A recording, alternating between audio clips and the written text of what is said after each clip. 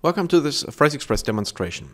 One of your requirements was that you would like to have auto-filled the persons you would like to send an email to. So this is Outlook, and if I press the known hotkey Control N to create a new email, PhraseExpress optionally automatically opens a pop-up menu which allows you to select the desired persons.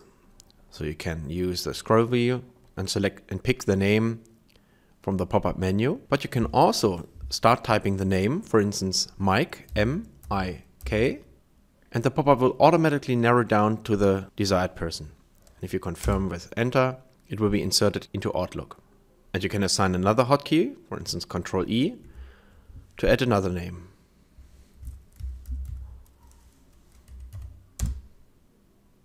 The benefit of PhraseExpress is that it's not only working in Outlook, but in any mail program, for instance also in Thunderbird. I press Ctrl N and you have exactly the same experience. Type in the name and it will be inserted into the new email window.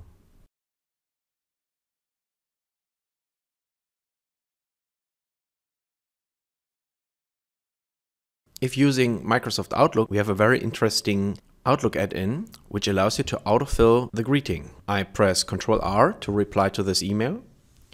And then I just type in Dear. And this is a pop-up from PhraseExpress, which automatically extracts the sender name and offers me to insert it into my reply. This also works with German emails.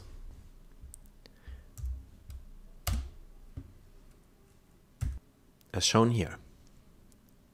However, this is limited to Microsoft Outlook only.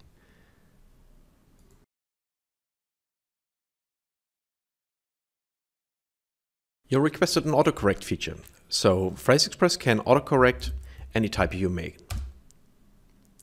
The typos are stored in a built-in dictionary. However, everybody has personal misspellings that happen over and over again. I simulate these misspellings and I correct it then I continue to type and misspell it again and correct it again. And PhraseExpress detects these mistakes and if I correct them. Now, if I make the same mistake any time later, it offers to correct it for me. And you can also configure it to do, to do it automatically. And this also works in any application. In Microsoft Word, and as you can see here, it also offers to autocorrect it.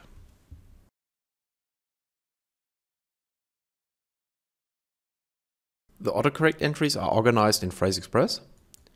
So you can edit the phrases. Actually, they behave exactly like the boilerplate templates.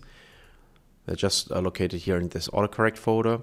And we offer autocorrect entries for English, German, Spanish, French, and Italian. And you see there are th several thousand misspellings and the correction. You can easily create your own autocorrect item. Just click on New Phrase, then type in the correct spelling, the auto text would be the incorrect spelling.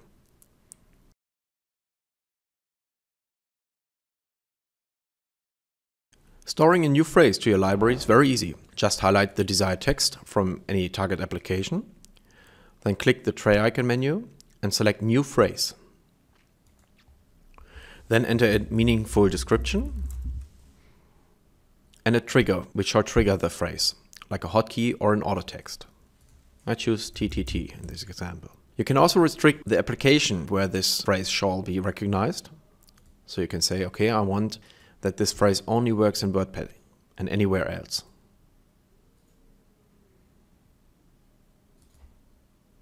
Okay, the phrase has been stored. And now if I enter the trigger, it will be expanded. Your phrases are organized in a customizable folder structure and you can create your own folders and even subfolders.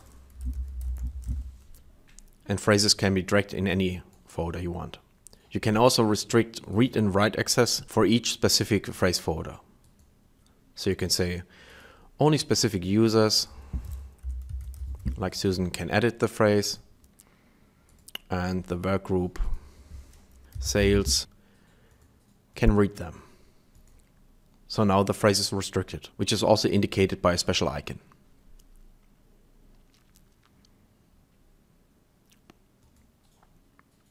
As you can see, you can also pick individual phrases from the pop-up menu, including the subfolders, but you can also drag folders onto the desktop for instance access, including the subfolders.